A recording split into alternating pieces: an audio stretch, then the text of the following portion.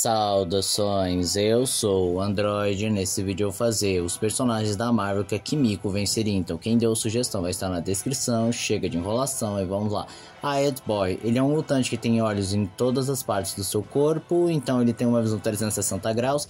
Só que isso é um ponto fraco porque ele é todo sensível e além disso, seus atributos físicos são de um humano comum sem treinamento formal. Logo, a Kimiko derrota ele com um soco. Ugly John é um mutante com três caras, mas tem atributos físicos de um humano comum, sem treinamento formal, logo a Kimiko consegue vencê-lo com um mísero soco também.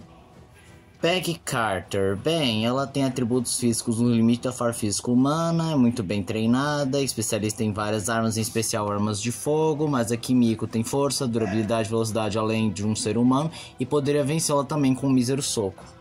D&D. Bem, ele tem grandes habilidades de combate, é bem ágil, tem seus boomerangs que daria bastante trabalho para Kimiko, mas ela pode vencer porque ela é bem mais forte que um humano comum.